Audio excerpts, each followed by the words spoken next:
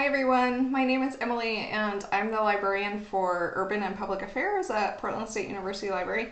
I know that in your class, our um, community, our health, that you talk a lot about careers. And so I thought it might be fun or interesting for you to hear about my career path in terms of becoming a librarian. You may not have considered being a librarian, especially with a degree um, in health studies or studying public health, but it is actually something that you can do. So I want to introduce myself a little bit more of my background with some objects. Um, the first one I want to show you is a keychain that I have. Um, I don't know if you can see that, but that's a cow and the state of Oklahoma and a tornado. Um, I grew up in Oklahoma and then I um, moved to Oregon to go to college. And um, when I was in college, I studied German, German literature. Um, and then um, I didn't really know what to do with myself after that, so I um, started volunteering for AmeriCorps. Uh, I was a Vista with AmeriCorps. And you may not have heard of AmeriCorps before, but it's a program, it's like the, the National Peace Corps where volunteers work um, a certain number of hours or dedicate a whole year to serve a community.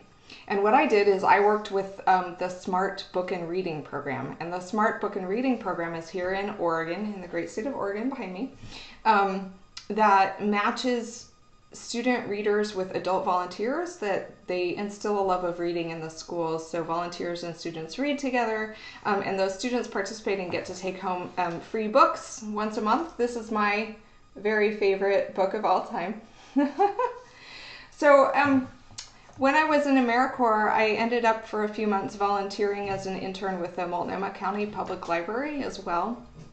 And there I had um, a, a, supervisor who encouraged me to go to library school or at least investigate going to library school. And one of the things that got me interested in going to library school was her mentorship, but also as an intern there, I attended a training called Intellectual Freedom 101, which they do for all new employees.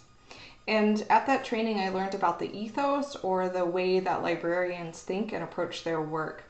At the time, the public library here in Portland, Multnomah County Library, was a part of a class action lawsuit against the federal government.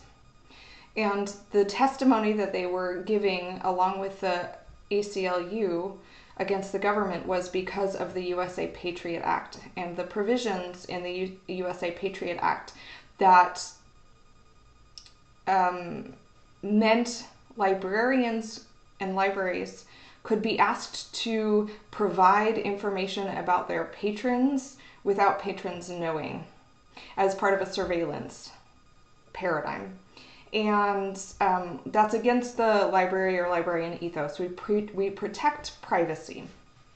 And the other thing about that provision is that it meant that libraries, when they did hand over data, so it'd be like the history of checking out books, etc. Now think of anybody who's interested in anything that would be considered radical, right? Um, librarians were not allowed to tell anybody that they had been asked um, to provide this information. So it goes against the ethos of librarianship. And, and seeing that, I think, really inspired me to want to become a librarian.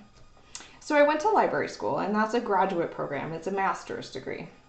While I was there, I also got a second master's degree, and that was in information science, and that was much more theoretically based. But it's the Master of Library Science that allows me to do my work.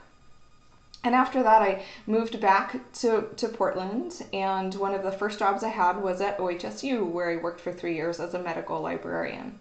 And then after that, I came here to Portland State, and I've been in this job about six years now. One of the things I love about um, libraries is that I feel like it's it, it enables social justice work because I feel like having access to information and helping students think critically about information is one of the most important things we can do to have a democratic society. And also so that we can help. Oh, there's my kitty cat. This is Harvey. Say hi. Say hi, Harvey. Say hi. Okay, down with you. It's one of the most important things that we can do um, in our career.